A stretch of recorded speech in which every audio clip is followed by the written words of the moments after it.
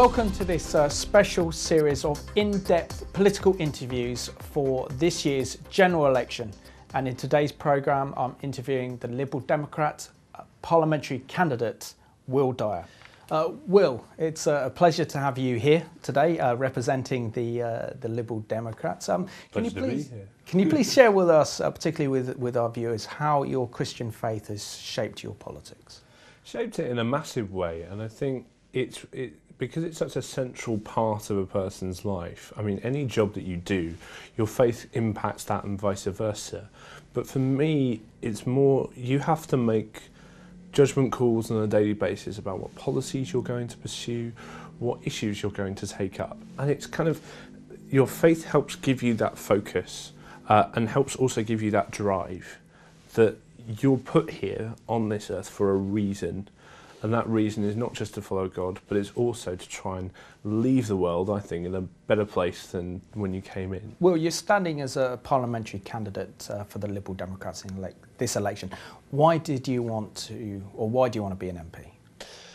I want to be an MP because I want to make life better for people. In my constituency in Bethnal Green and Bow, in my borough in Tower Hamlets, um, we have the highest rate of child poverty anywhere in the country.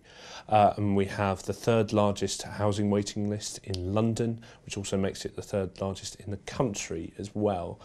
And it's those kind of things, the people that I meet on a day in, day out basis, they just want a decent start in life. And for me, it's all about I want people to have equal opportunities in life. Everyone to have the equality of opportunity. But you can't have equality of opportunity unless you have equality of education, equality of healthcare, and equality of decent, affordable housing. So that's kind of what drove me to want to become an MP. It's not just about representing your constituents, it's about building a better, more open, more tolerant, and more united Britain. Uh, and, and, Will, can you share with us uh, why you decided to choose the Liberal Democrats? I mean, so I decided to choose the Liberal Democrats. Uh, so I grew up in a uh, little town called Reigate in Surrey. Um, pretty much the, it was either Conservatives or Lib Dems there. Labour weren't really a thing. But it was more that the Lib Dems embodied that community politics. I remember I attended a youth club when I was younger and actually it was the Lib Dems that really helped um, get funding for that youth club and it was more like the pavement politics of it all that you could you could go and speak to someone on canvassing on a Saturday. They give you some casework, say they were having problems with their benefits, having problems with their housing. Go and speak to a council officer about it during the week, and then the next week you'd be back and you'd be able to say, look, here's the results of what we've done. But also, I think for me, so one of the main reasons I joined the Liberal Democrats is a bit of a kind of personal reason for me in the manifesto in 2010, the year that I joined, um, there was a commitment to 0.7% of gross national income to international development. That may seem incredibly dull, but basically what that meant was in 2015, the Lib Dems, Michael Moore MP, and I was lucky and fortunate enough to help in a little way on that, on making that bill happen. We managed to get that passed into law. Now to put that in perspective, that's a zero, that was a 0.15 rise to get us up to the 0.7%. What that means in practice is I think a 2.4 billion pound rise in our international defence spending, uh, sorry, in our international development spending. That's huge. That is absolutely massive. And actually, the Liberal Democrats, we were the only ones to have it in our manifesto in 2010 and delivering on that and being able to kind of say, you know, I helped do that you know, and that was really quite special for me. Excellent. Now, it's been a year since the uh, British people had the historic opportunity to vote on our membership of the European Union. Uh, as we know, uh, the vote last year went in favour of withdrawal from the European mm. Union. Uh, what is your party's stance on, on Brexit? So, our party's stance on Brexit, we believe that Britain's future is better within the European Union. Um, we believe that the decision taken by the British people uh, last June was a valid one, um, but that doesn't mean that you stop campaigning on the issue. We voted on the 23rd of June for departure. We didn't vote on a destination. We do not know what the deal's going to look like at the end, and Theresa May is making choices every single day about the life that, that about the life that Britain is going to have after um, we potentially exit the EU. Uh, life. Uh, after exiting the single market, about protecting EU rights. She's making those decisions without consulting the British people. What the Liberal Democrats would want is a referendum when we have a deal on the table. There you have two concrete options. You have a deal which if, you, if the British people voted for, we would leave the European Union on those terms, or the option to remain. Actually, that gives us two concrete choices, because as I said, we voted for departure, a referendum allows us a destination. We don't want to start this process with democracy and end it with a stitch up. On that issue of offering the British people another referendum on our on our EU membership, as it were, you know, isn't that actually going against the will of the people? That uh, the majority of the British people voted to leave, and here you are saying we're going to propose another referendum, uh, and maybe the British people are now a bit sick and tired of politics and a bit sick and tired of, of referendums I mean, when that decision has been British made. politics are probably a bit fatigued anyway, but that's not really our fault. That's more Theresa May's fault. Um, but no, it, it's the thing. So there were a lot of debates about what exit would look like uh, in 2016. I remember it. I, will, I worked on the Remain campaign. I passionately campaigned to Remain. And there were a lot of debates around the rights of EU nationals, about the freedom of movement, about the single market. These are big fundamental issues that really impact businesses and ordinary people up and down the country. And actually, if you're what businesses want is certainty in this economy, and this provides them with certainty because the Conservatives are currently chopping and changing their mind on whether one day they're saying they're going to remain in the single market, one day they say they're not because it impacts on freedom of movement. So having a simple way in which, via a referendum, we can say to the British people, look, if you want this, we think it's a bad thing to leave the European Union. If you want this, you can have it. You've just got to vote for it. Or you can vote for our preferred option, which is a brighter future for Britain so that we can really change the direction of our country. Uh, and Will, in this election so far, leadership is, is playing a very big role. Um, what are the characteristics and the leadership qualities that your leader, Tim Farron, has in this election?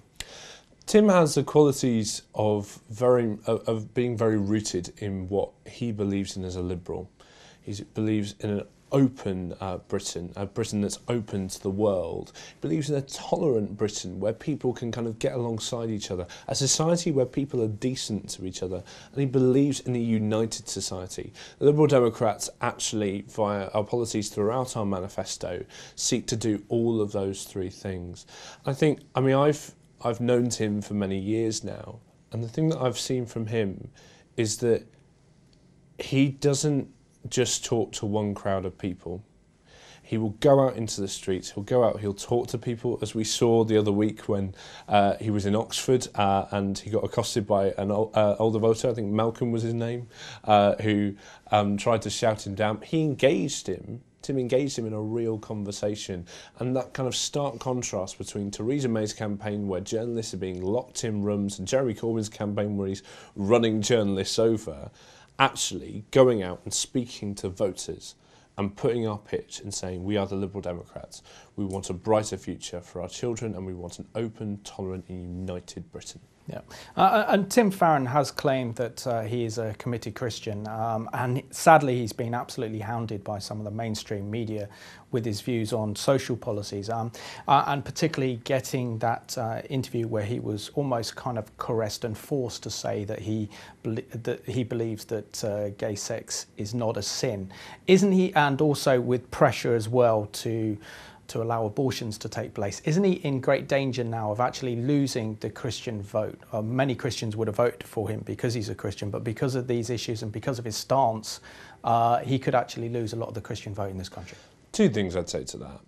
One, it's we live in a tolerant nation, and tolerance and liberalism go hand in hand because it's not just about the right to say yes It's also about the right to say no thank you. And we saw that especially with the equal marriage bill going through. Tim voted for equal marriage because it's not just about it's not just about those two people that love each other that want to get married. That's great. It's absolutely brilliant. It's also about the protection for churches to say we respect what you're doing, but we don't want to partake in it. Faith is often a very personal thing. It's personal for me, as, as it's personal for millions of other Christians across the United Kingdom.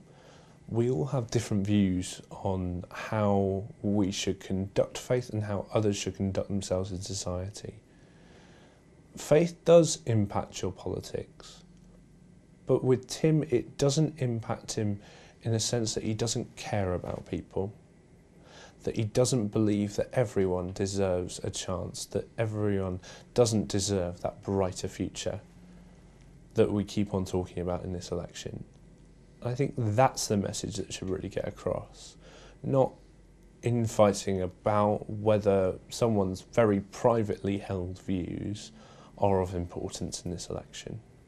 Uh, Will, but this, this is really a question of, of morality, really, and whether you actually believe that the Word of God is literal. And so, therefore, it is, he's actually then going against what the actual Bible's saying um, in trying to appease the liberal establishment. I mean, that is the danger that he faces in losing a lot of Christian votes and losing a lot of integrity, really, for not standing on core biblical beliefs at this election. I mean, we could debate core biblical beliefs, beliefs until we're blue in the face. Um, but I mean, I'm not a theologian in, in, in that field. Uh, the, the thing I would say, though, is look at him on his record. Um, look at him on his record of fighting um, of fighting for refugees, of fighting for the least, the lost and the lonely in our society. Uh, look at his rights on fighting for those that were escaping genocide in Srebrenica. Look at his record on fighting for those uh, that want decent housing, especially in his own constituency up in Cumbria. His record of talking about people as if they are people first, and they deserve a decent outcome, whether they are someone in a big posh house, whether they're someone on a council estate, or whether they're someone facing real poverty anywhere in the world. It's because of Tim's leadership that we've been able to do that. And I think with politicians, you can talk about morality, but at the end of the day, it's about votes that he casts alongside Liberal Democrat MPs in the House of Commons and the House of Lords. That's what matters here. And looking at Tim's record, I don't think he's got anything to, to frown about at all. One of the big uh, issues that um, many of our viewers, or most of our viewers, are concerned about is this growing marginalisation of Christians in society and also in politics as well. Uh, with many um, Christians being persecuted at work, praying with work colleagues, or or offering to pray with a patient and then finding themselves being dismissed. What is the Liberal Democrats doing to protect Christian freedoms in this country? Oh, two things. Firstly, Liberal Democrat position is about protecting the rights of Christians and the rights of people in all religions to practice their religion in the way that they see fit. So whether that is praying at work, I mean, I, I pray at work as well, um, whether that's um, making sure that they have the Sabbath off, making sure they have that Sunday off so they can go to church, so they can rest and rest well. Um, I'm not really getting much of that in the election, but that's a different story. Um, but also, secondly, you talk about the marginalisation of of Christians in politics. The one thing I'd say to that, and this is a personal thing for me, it's throughout my time kind of in politics, there's often a separation between politics and Westminster, where politics is talked about very freely and it's talked about in an open way. I go back to a lot of churches, um, not all, but a lot, and politics isn't really talked about there. And what that means then is that young people like myself, um, as I was back then, are not encouraged to enter into politics. are not encouraged to stand up for their local community. So the one thing I'd say about the potential marginalisation of Christians in politics is that that is not inevitable. Uh, it's certainly happening. We're seeing fewer Christian MPs. That's undeniable. But actually, Christians still have a large number of members of parliament, still a large number of members of the House of Lords. But it always starts off at the local level. It starts off in churches. I mean, churches are brilliant at community organising. If they put some of that effort and channeled it into politics, then we could really see a transformation of our society. Very much agree with you on that one, Will. Um, the Liberal Democrats deserve a lot of credit for the time that they were in the coalition government in helping to reduce the deficit which the current with previous Labour government got us into the the awful mess that we're in.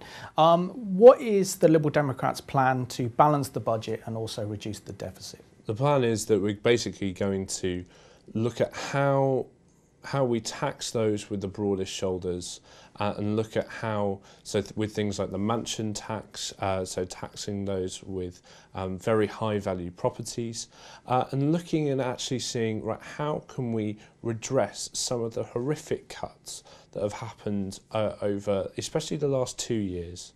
For example, and actually, I, I always find it's better to go into specifics on this one. One of the cuts that the Conservative government has done over the last two years was free school meals for those under the age of four.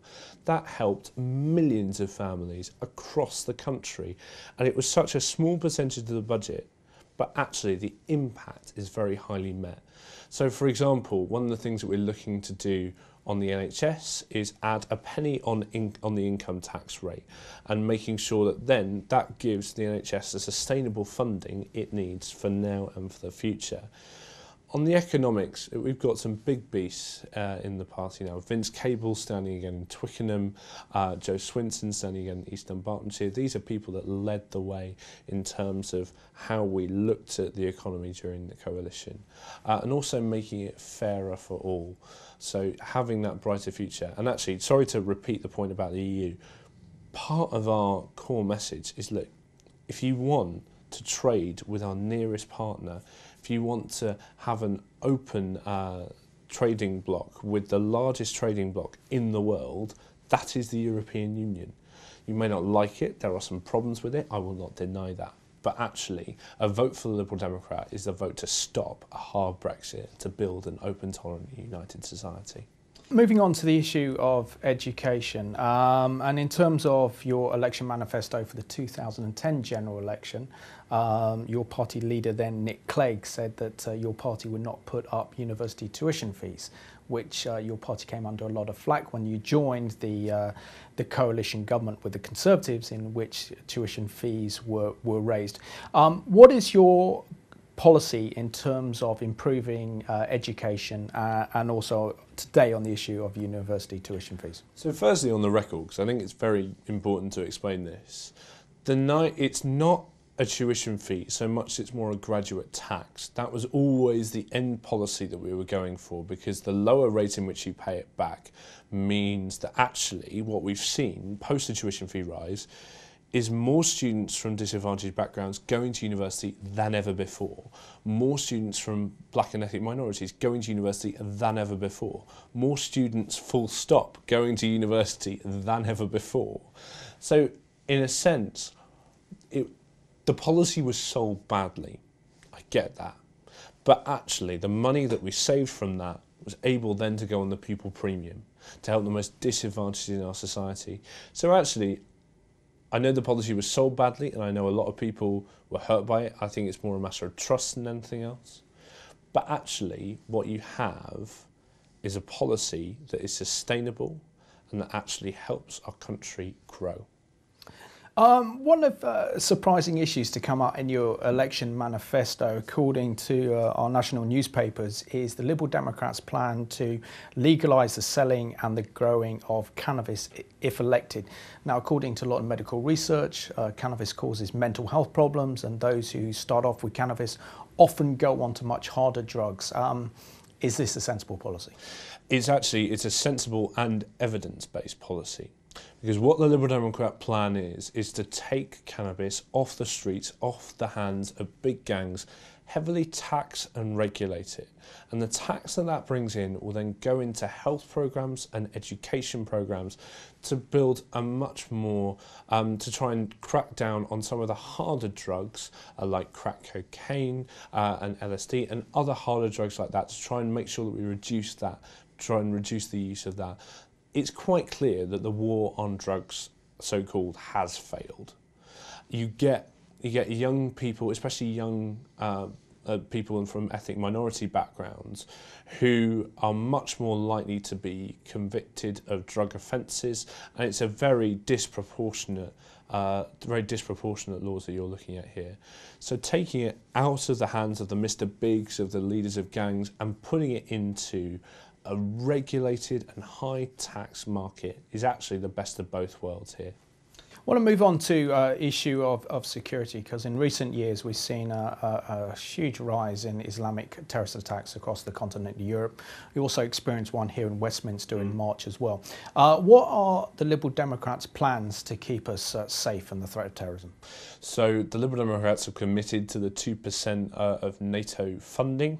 Um, we believe that this is important because to live, uh, for Britain to be safe, for us to enjoy the freedoms that we have, we need to protect ourselves abroad.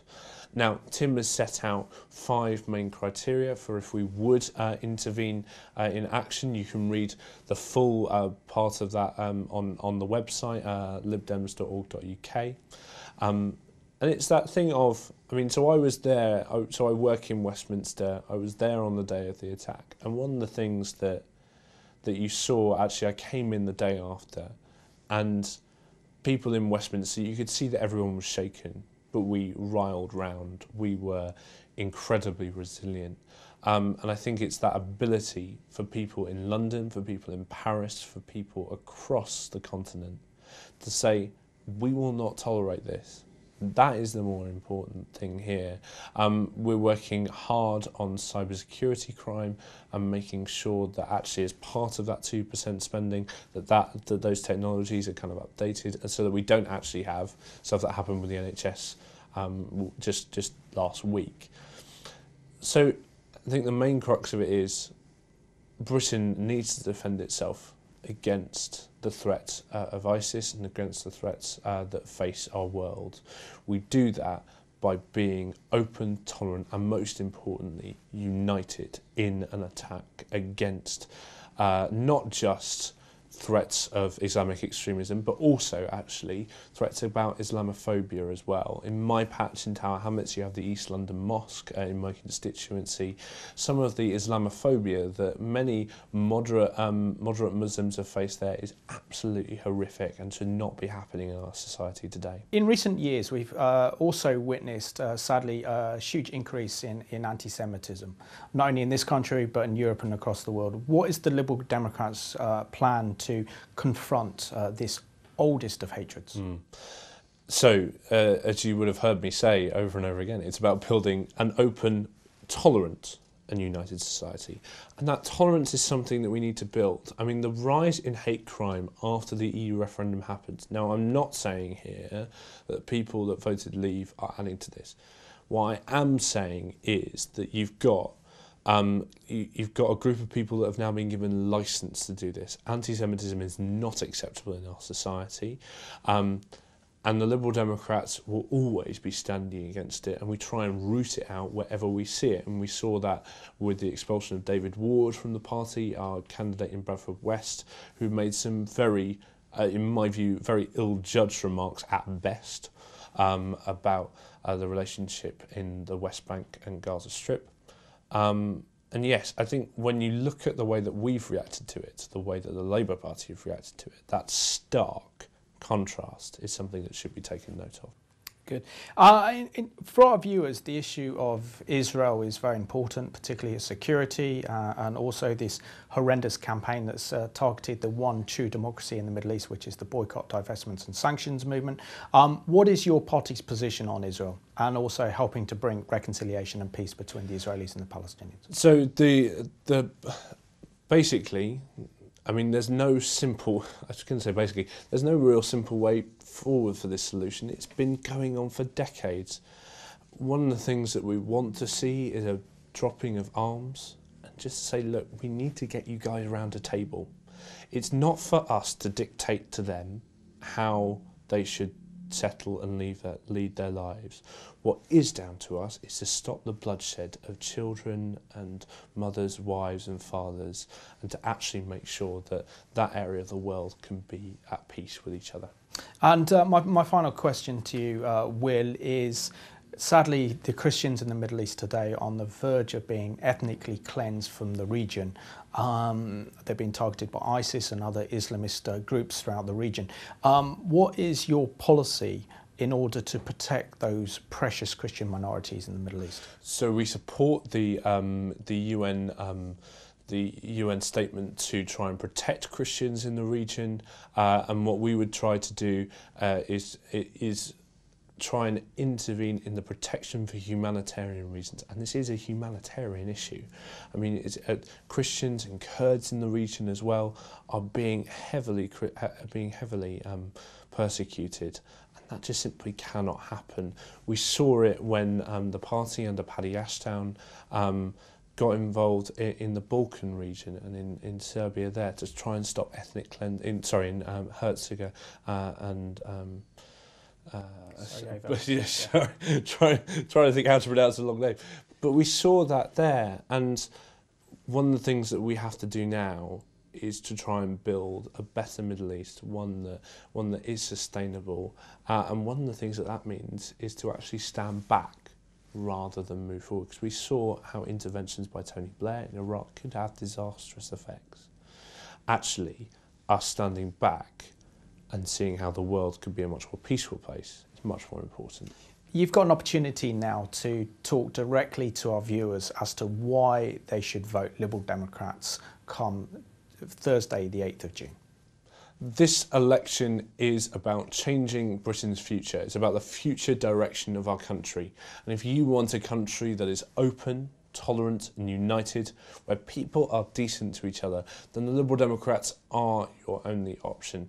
Theresa May is making decisions every single day about this country's future, and what we want to see is a, is a situation where actually that can be put to bed in a referendum, where actually this election for Brexit and for the future of our country we believe that actually the final deal should be put before the British people and that you should have the final say. We started this process with democracy. We don't want to end it with a stitch up. Uh, Will Dyer, I just want to thank you so much for giving me the opportunity to interview today for this uh, general election. Thank you very much. It's been a pleasure.